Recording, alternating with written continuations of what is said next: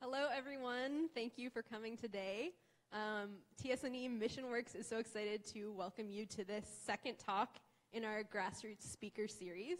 This is a series that was created by TSNE Mission Works staff in response to the challenges that many grassroots organizations are facing in terms of funding, visibility, and public awareness around key social justice issues. So the series is meant to highlight the creativity, resourcefulness, and resilience of local community organizers, and to make space for TSNE staff and other um, nonprofit workers to and interested community members to come together and actively listen and engage with grassroots leaders. Um, so we're hopeful that the events in this series will spark uh, conversations around how we can support the important work of these grassroots organizers. Um, so a few housekeeping notes for today. Please help yourself to the food in the back. And the food is from Haley House in Roxbury. Haley House is dedicated to helping those made vulnerable by the harshest effects of inequality move toward wholeness and economic independence. And their transitional employment program seeks to break the cycle of incarceration by supporting people returning home to the community. Bathrooms are located out this door um, down the hallway to the right, and there's also a gender neutral bathroom on the fourth floor. Uh, we're live streaming today's event, and we'll be taking pictures. Um, if you do not wish to be photographed, you can put a red sticker on your name tag. Um, if you have any questions, hold on to them until the end, and we'll do a question and answer session. Um, and we do ask for everyone to wait until we pass you the microphone so that everyone in the room and on the live stream can hear your question. Um, so that brings me to our featured speaker. I have the honor of introducing Douglas Rogers, who I've known and admired for the last six years. He is a formerly incarcerated individual working to destroy the prison industrial system. Douglas was one of the first members of Black and Pink, and he has dedicated himself to being a strong advocate for abolishing solitary confinement. He serves as a member of Black and Pink's leadership circle, and he will be sharing with us insight into how his lived experience shapes his organizing work.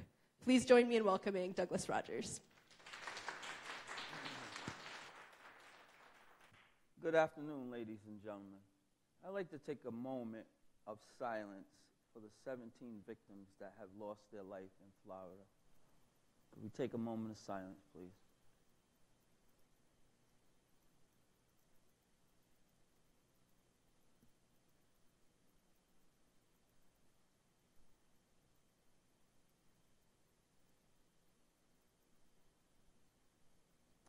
Thank you, ladies and gentlemen. I am here today to give you a glance of my life. Um, I was formerly incarcerated for a number of 15 years in a correctional facility.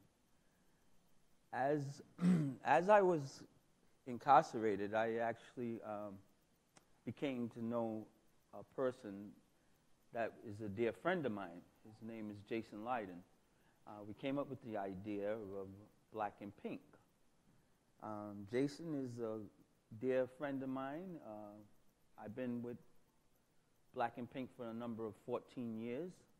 The work that we do, we try to help, I help facilitate people that are actually coming home that are incarcerated and actually coming to the halfway house for transition back into society.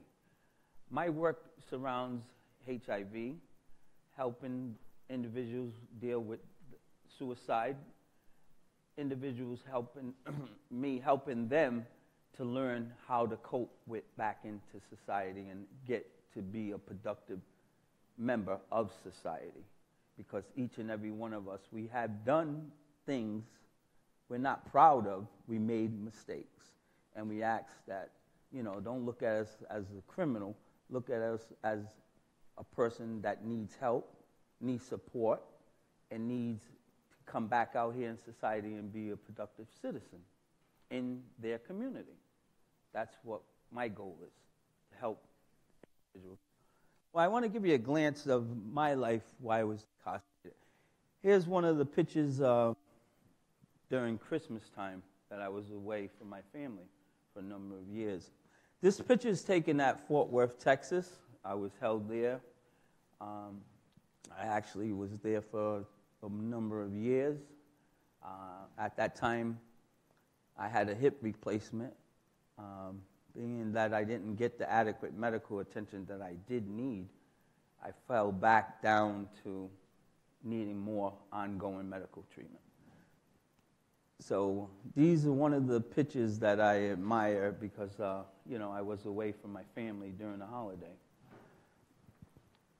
Um, this is um, one of the pictures that I was in the medium security in Pennsylvania, in Ayer, Mass.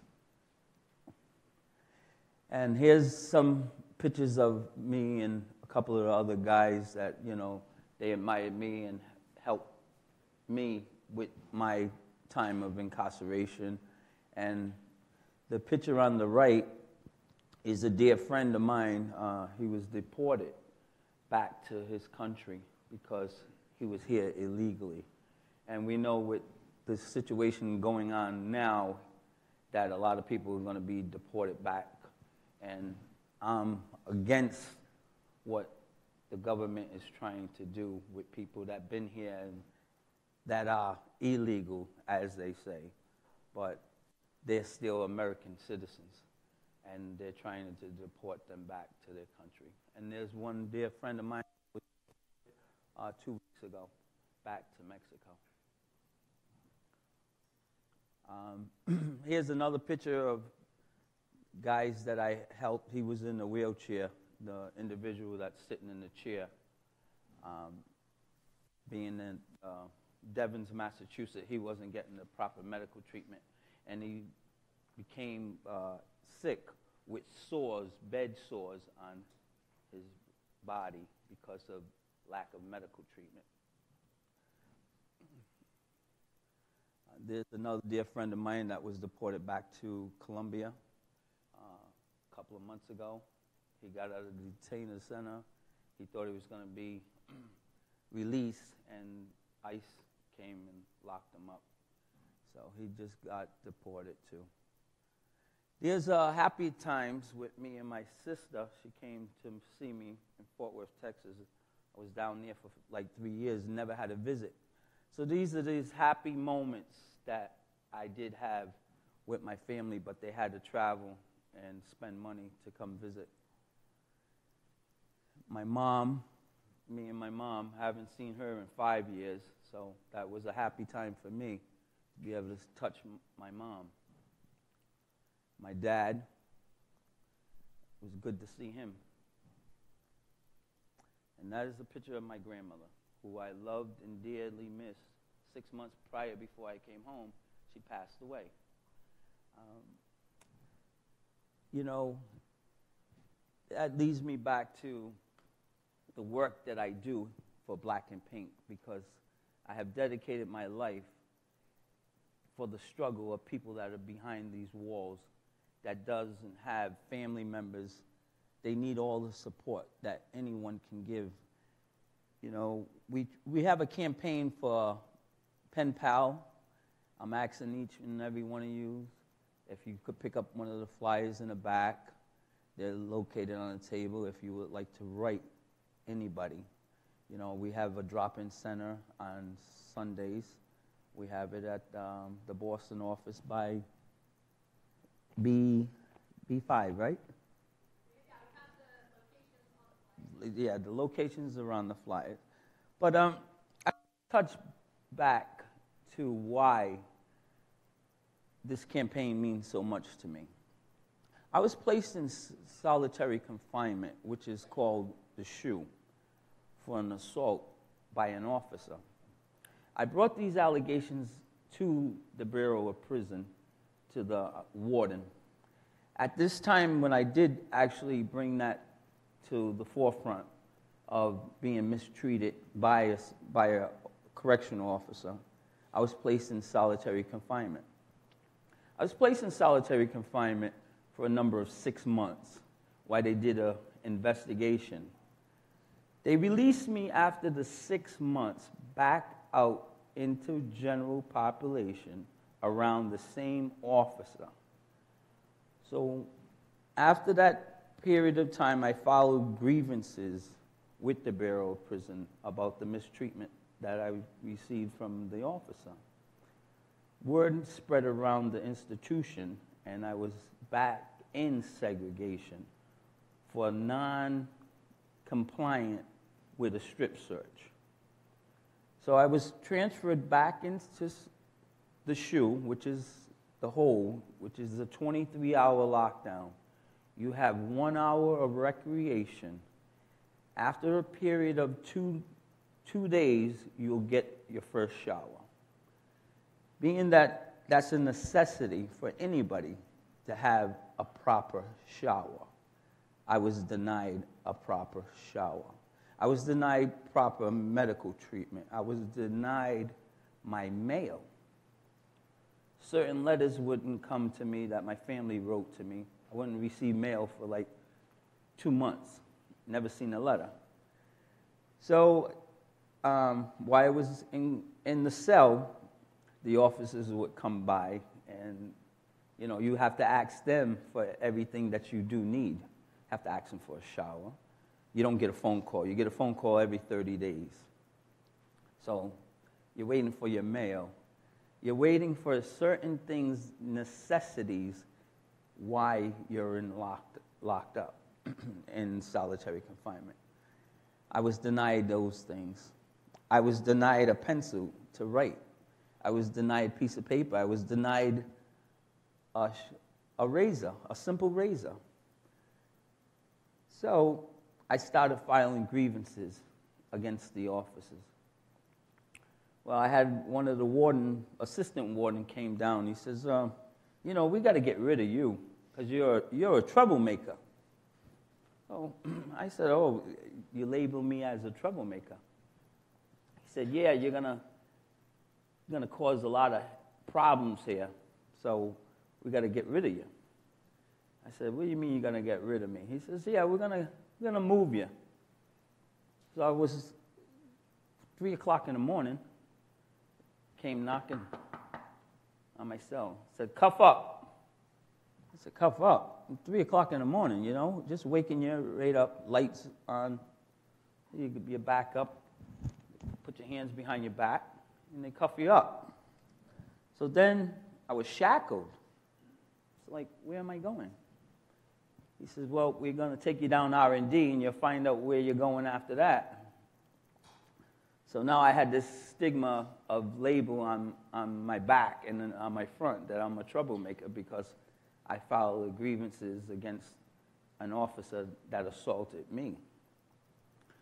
So I was in R&D, you know, they came, a couple of officers. I'm shackled, handcuffed. Don't getting placed in the van. Next thing you know, we ended up at a couple of hours in the van. Ended up at an airstrip in upstate New York. Me and three other guys, we were led onto a plane. We asked them, where, where are you taking us? They said, You'll find out when you get there. Next thing you know, we're up in the air. Three hours into the plane ride, we ended up in Lexington, Kentucky. I ain't never been in Lexington, Kentucky in my life. Couldn't tell you anything too much about it, but it was an adventure.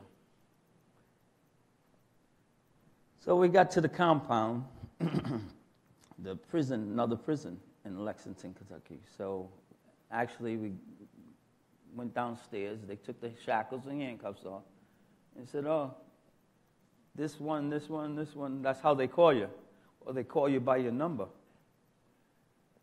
So he said, the gentleman, he, uh, the security, I mean, the guard said to me, he says, uh, Well, you stand there. We got a place for you. I said, What do you mean? You're going back to the SHU. I said, Back to the SHU? He said, Yeah, you're going back to the hole. So I didn't have none of my property, no pencil, no nothing. Been placed back in segregation, solitary confinement, as it's called.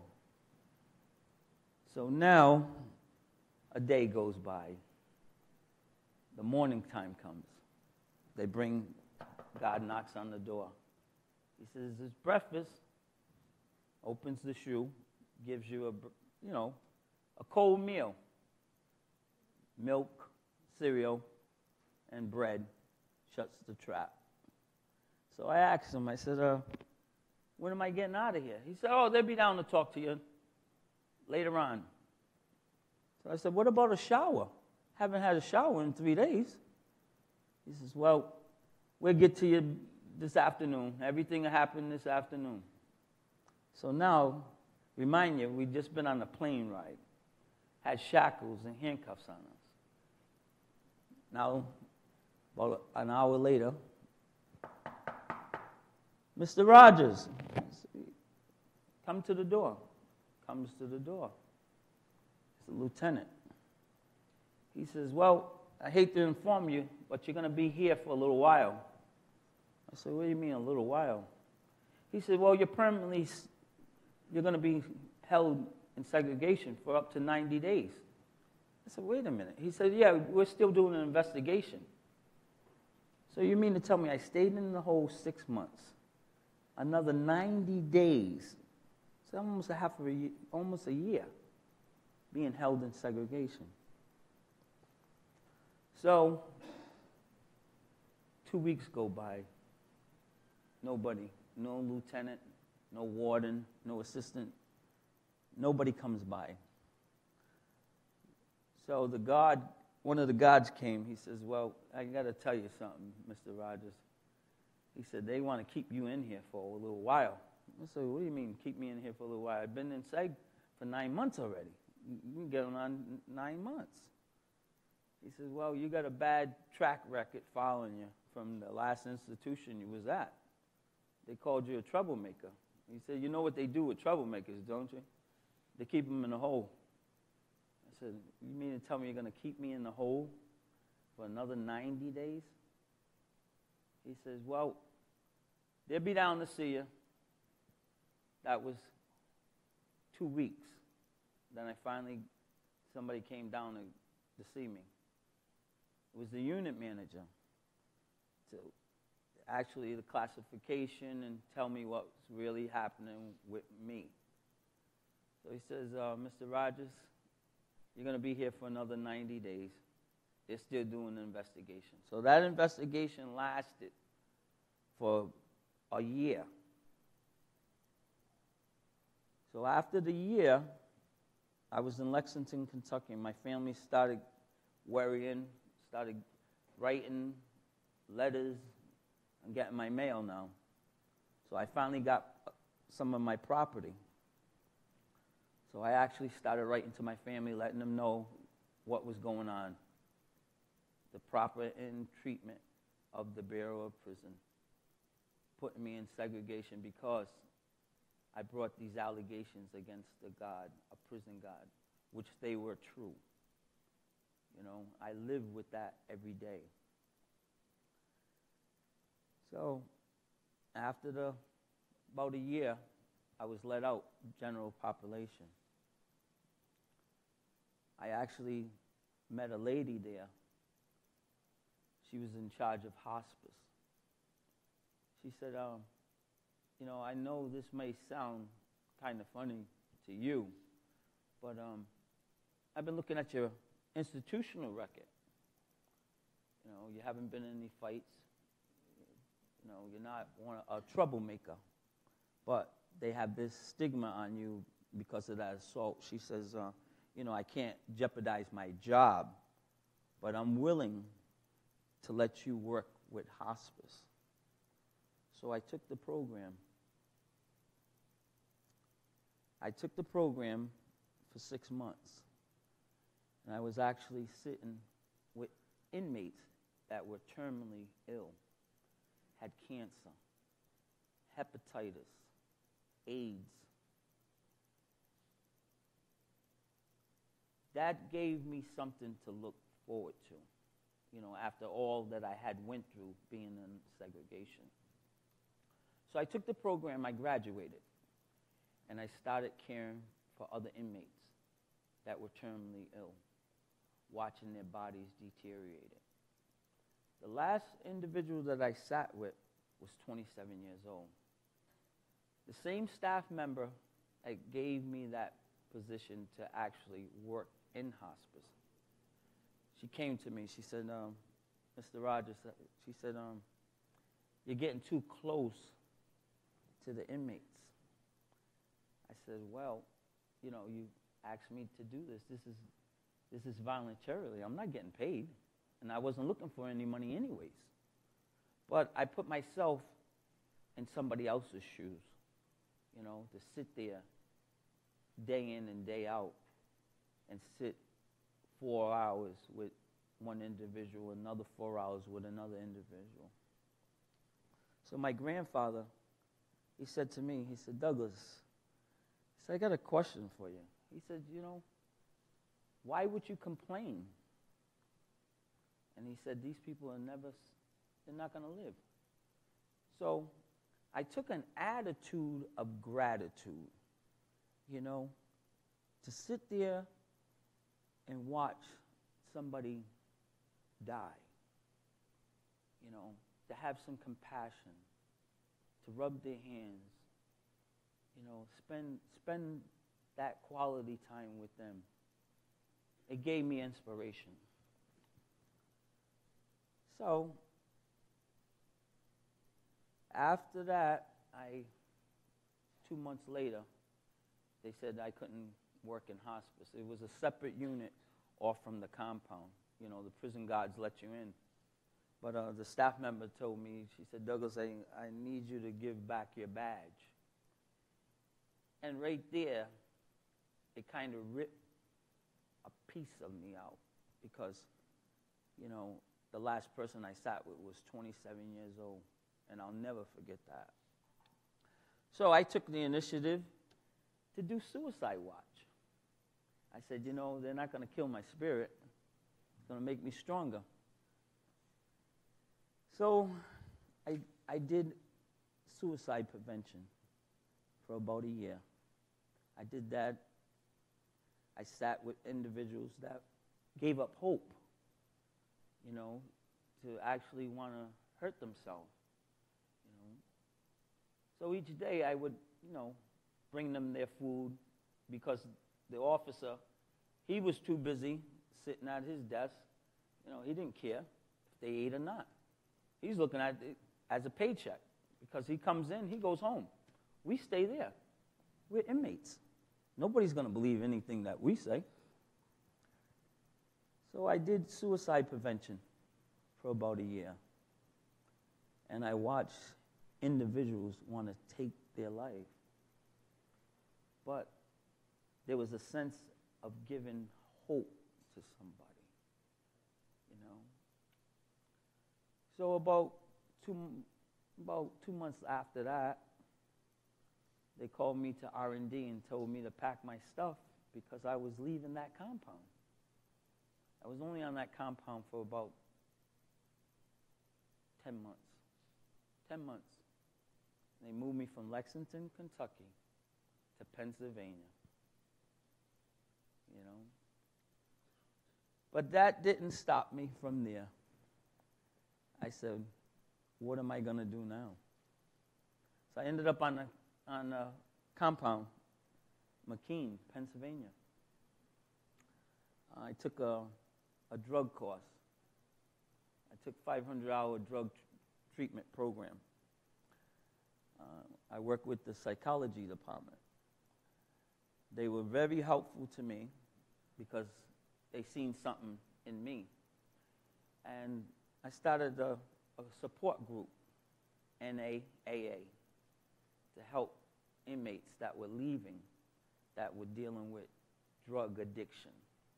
And I know that right now, here in the state of Massachusetts and around the country, the opiate epidemic is very high. Um, I actually been in contact with certain individuals that I've been supporting. I got um, an individual that that I, I support each and every day. He calls me. He was a straight alcoholic. He gave up drinking four years ago. I met him. He gave up drinking. He took the bottles, smashed it on the ground. It was something that, you know, he said to me, and he still, he's into my church. He said, something about you, God sent you for a reason. He quit cold drinking. He's working, he's got a full time job, and he's actually looking every day to call me. There's not a day that he doesn't call me. So, you know, certain things that you can affect people's lives. But as I was still doing my sentence, I went to Devens, Massachusetts, and I met Jason Lydon. And he was a good and dear friend to me because they tried to, in prison, will put a, a black or white inmate together to see if you would attack them or they would attack you, vice versa. But it wasn't the case because I don't look at race, creed, or color. I love people for who they are because that's the way I was raised. I don't look at color. So I um, took up dialysis care treatment. I sat with individuals because I was at, I, my security level had dropped, and I was at Devens Camp. It's a camp in Ayer, Massachusetts, but it's still a, it's a bureau of prison. I took the dialysis course there, and I was going inside the main prison besides being outside of the camp because you have more freedom. You're actually to lower security. I was there for a number of years, about three years. I met Jason. And he said, Douglas, they put me in here with you. I said, Jason, you're fine. So that's one of my dear friends. So we came together and we started Black and Pink, which we're here today. That's who I represent. Formerly incarcerated individuals. LGBTQ. That's us. That's me. That's what I do. That's a support system that I strive to help people. People that are actually going to the Coolidge House here in Boston on Huntington Avenue, across the street from the YMCA. My campaign is to stop the solitary confinement, to tear down these walls of these prison industrial systems that is overpopulated with individuals. Here in the state of Massachusetts, the DOC can place an individual in solitary confinement up to 10 years. 10 years. Imagine someone for 10 years being held in solitary confinement. You know, they'll let them out after five, but they'll put them right back after to do another five. What do you do to a human being? Their mind you dehumanize a human being. So then, when they come out from incarceration, where are they going to go? Where are, what are their skills or training that they have learned? You know, you have a lot of individuals that you see roaming around here in Boston, Rhode Island, that they're wandering. You know, I know some people get a little upset because they act change, you know, certain things of that nature, and then, you know, you got outbursts from these individuals. But there needs to be more focus on mentally ill people. People don't look at it in that aspect. They feel that, you know, they committed a crime, lock them up. I don't believe in locking up an individual and putting them in incarceration for a number of years. You know, there's got to be a better way. There's got to be better treatment for people. Because we all make mistakes. But you know what? We're still a human being. We, de- we deserve the dignity to be treated like a human being. So that brings me back to black and pink. We write to individuals that are incarcerated behind these walls because they are locked away. Some of their family have turned their back on them. And then some people may say, well, what did they do to their family? You know, maybe the family member gets tired of that collect phone call. You know, don't want to go up to the prison, don't want to be degraded, going through the metal detector, you know, take everything out your pocket. You know, they do do that. And I understand that certain people may feel that I'm not a criminal.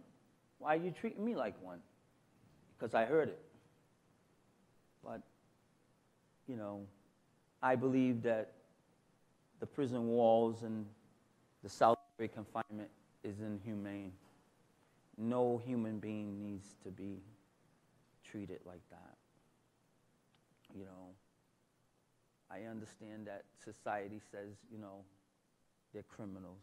They need to be locked away. But they don't deserve to be treated less than a human being.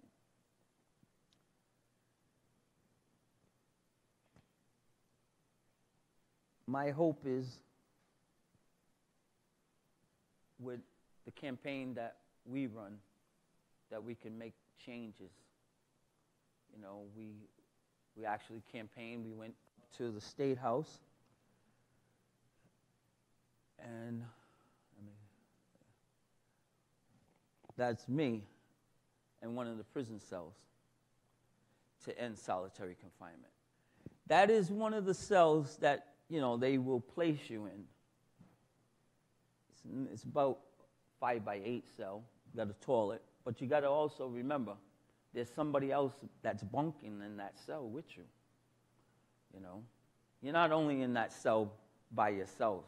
Some of these prison cells, like at South Bay, they're double bunk. So you have another, another man over you. And, and also in Boston and Massachusetts, they lock up women too. They have women locked up that are pregnant, you know, so they take them to the hospital after they have their baby. They take their baby. The state takes their baby. Don't give them the chance to actually call a family member up. They just take the baby. You know, you're ripping the mother away from the child. So that's another thing that society doesn't know that's happening right here in Massachusetts. You know?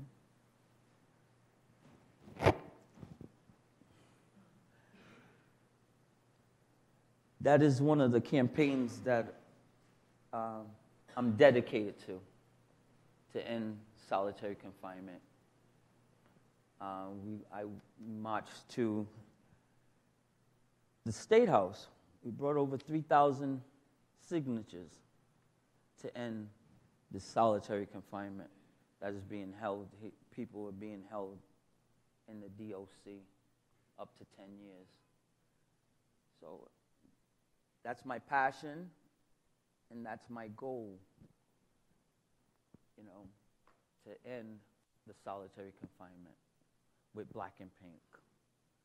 I would love for you, you ladies and gentlemen, take the time, grab one of the brochures, and actually like for you to be a pen pal to someone, you know, help somebody, support somebody you know, it's, it's only a stamp, but you could ch- make a difference, change somebody's life, let them know that they're not alone. We're not asking you to send money, just a letter, just to let them know that, hey, I'm here. I'm one of the persons that is supporting you, to help you, you know. Because when you're depressed, suicidal, you know, a little smile goes a long way. Goes a long way. So that is my campaign. And I would like for you to look over. Oh, let me go back here. Laura?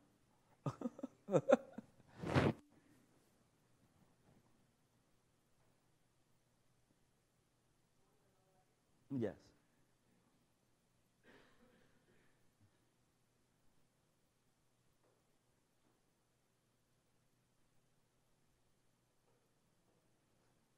Little difficulty for a minute. Here's some of the letters that I.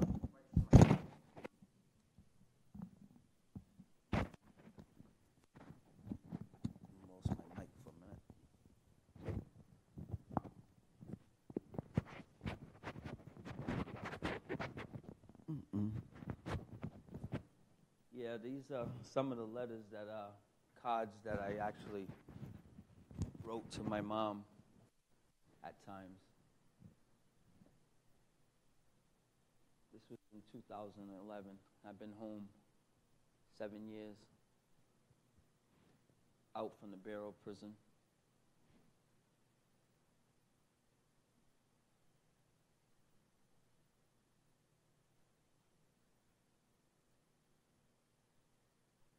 This was six months before I came home. Happy New Year's.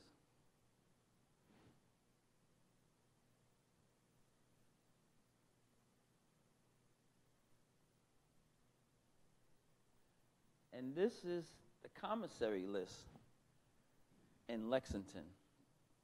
If you're out in population, you can actually purchase some of these items from the commissary. I didn't have that because I was in the SHU, the hole, as they call it. But here's the commissary list that you're allowed to purchase these items from the commissary. The only thing I could buy off the commissary was stamps and letters. I mean, excuse me, envelopes to write. Couldn't have a pen, I had to use a pencil to write. Just these little simple things that people take for granted means a lot to somebody. So there I am, my campaign, ending solitary confinement around the country. I am more focused now on helping individuals, mainly the LGBT community here, because we're being attacked so much by society, by our president, Donald Trump. Hasn't given us any open invitation to the White House. But we're going to continue fighting, not giving up. So that's my presentation to you today, ladies and gentlemen. I thank you for your time. You have a blessed day.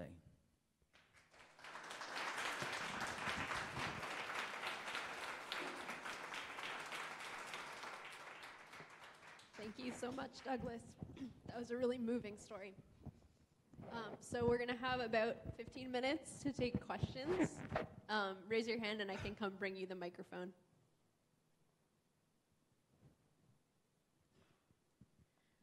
Thank you for sharing your story, Douglas.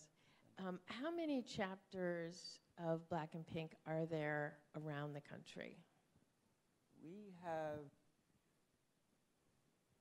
I believe it's 30, Chicago. Yeah, uh, Nebraska, we're getting ready. Seattle, Chica- Chicago, New York, Providence, Ohio, and Sy- Syracuse? I think so.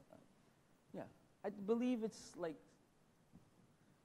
maybe nine or ten.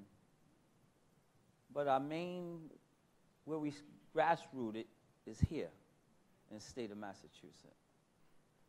It's, um, you know, our hub is here, but we're actually, we have an interim, new national interim director that is actually coming here, but our office is going to be moved to Nebraska.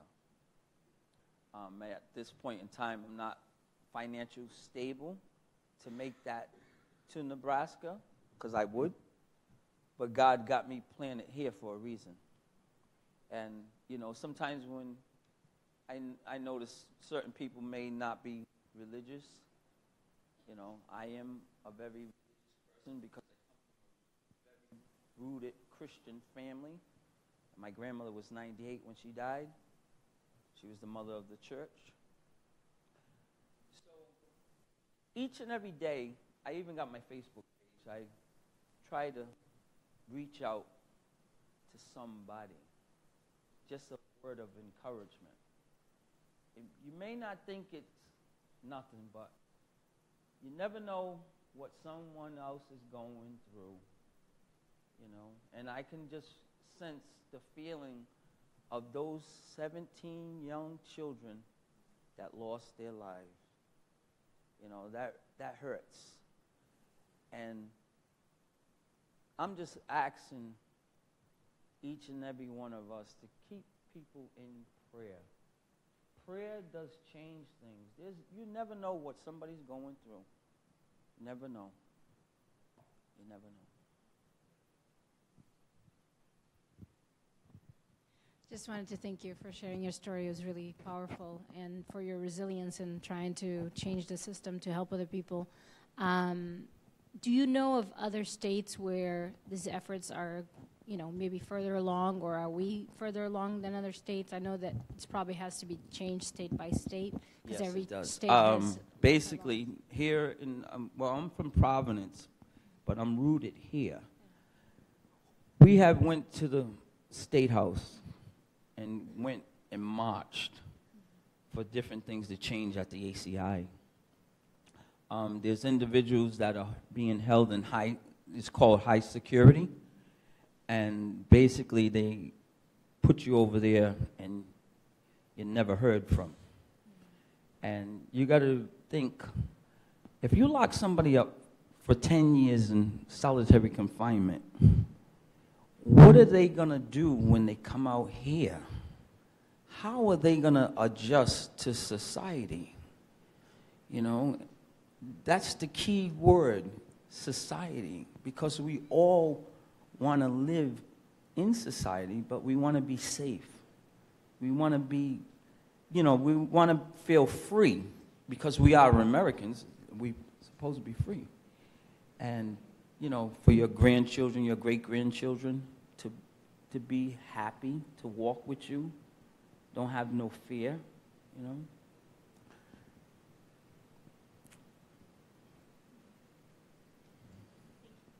You're welcome.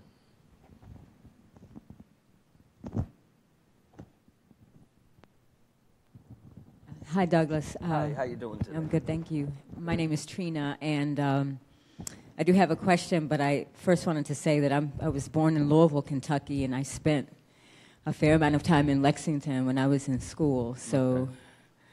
just hearing you tell that story takes me back to what it was like, you know, especially for people of color in Yes. Lexington, Kentucky. And so I just wanted to lift that up. But my question for you is about the experiences of LGBTQ people of color who mm-hmm. are incarcerated. And I'm particularly interested in black folk who are LGBTQ. Mm-hmm.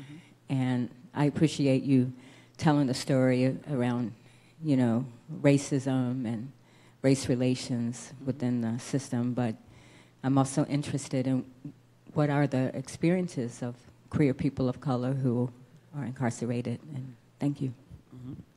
I'll answer your question for you. They are the most mistreated individuals in the BOP and the DOC. They're the ones that they try to remove from population.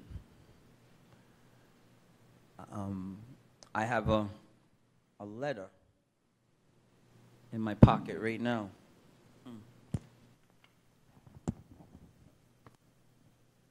No, it's upstairs. Well, I should have brought it down. I got a letter from an individual. Uh, I've been writing back and forth for a number of two years. Uh, they were scheduled to be released just last week, and they were denied parole. Um, the next six months to a year, they can go back up for parole. But they never gave a reason why they were denied parole. Their excuse was they didn't have, well, yeah, excuse me, they had a excuse that the address that they used when they sent the paperwork out, it came back uh, address unknown. And the individual, that's their grandmother's house and their mother's house. It's a triple decker right here in Boston, Massachusetts, in Dorchester. So there's something wrong with the paperwork right there, and that's a mistreatment of an individual because they're LGBTQ, and that's not right. So right now, I am, I suppose to get a phone call tomorrow from Legal Services. They're working on the campaign with me to actually free this individual.